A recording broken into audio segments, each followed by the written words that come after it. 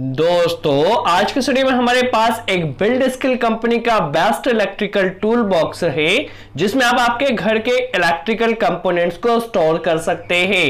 चलिए, सबसे पहले हम इस टूल बॉक्स की अनबॉक्सिंग कर लेते हैं। देखिए, हमारे पास काफ़ी हैवी क्वालिटी का मेटल बॉडी का बेस्ट टूल बॉक्स है। इसके हम अनबॉक्सिंग कर लेते हैं। देखिए, काफ़ी हैवी क्वालिटी का ये टूल बॉक्स है, जिसमें आप आपके घर के कोई भी इलेक्ट्रिकल कंपोनेंट्स को सेफ्टी के साथ स्टोर कर सकते हैं।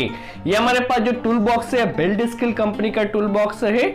चलिए, सबसे पहले हम इसे ओपन कर लेते हैं। इसका जो हैंडल आपको दिया गया है काफ़ी हैवी क्वालिटी का दिया गया है, जिसमें आपको यहाँ पे टू ट्रेस यहाँ मिल जाती है, जिसमें आप स्मूथली से इस तरह से ओपन कर कर कोई भी इलेक्ट्रिकल कंपोनेंट्स को स्टोर कर सकते हैं, ये आपको फोर ट्रे में भी अवेलेबल है थ्री ट्रे में भी अवेलेबल है। हमारे पास ये जो टूल बॉक्स है, ये टू ट्रे में दिया गया है। देखिए यहाँ पर, इसकी मेटल बॉडी काफ़ी हैवी क्वालिटी की आपको यहाँ पे नज़र आ रही है। इसका जो वेट है, वो फोर के वेट है, जिसमें आप ट्वेंटी के तक के कोई भी इलेक्ट्रिकल कंपोनेंट को स्टोर कर सकते हैं। देखिए, यहाँ पर इलेक्ट्रिकल कंपोनेंट काफ़ी सेफ्टी के साथ आप ये स्टोर कर सकते हैं। चलिए, हम यहाँ पर देख लेते हैं किस तरह से स्टोर किया जाता है।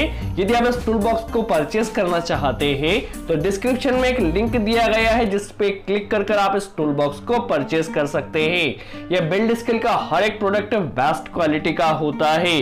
देखिए, हमारे पास यहाँ पे जो इलेक्ट्रिकल कंपोनेंट्स है, वो काफ़ी सेफ्टी के साथ रखा गया है।